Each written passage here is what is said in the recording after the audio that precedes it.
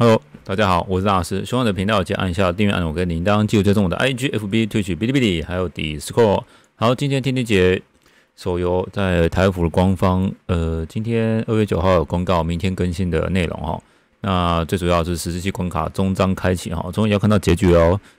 好，再来是限定召唤双月无声，那就是玄机跟风铃声。那如果没有风铃声的，是可以考虑啊。不过，嗯。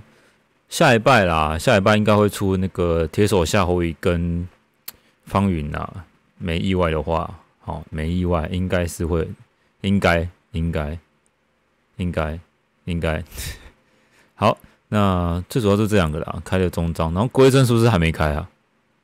哎，真的是啊，为什么龟真一直卡？龟真还是没开哦，哦，好，再来是超值礼包，开工大吉礼盒。OK 啦，我是不会买的。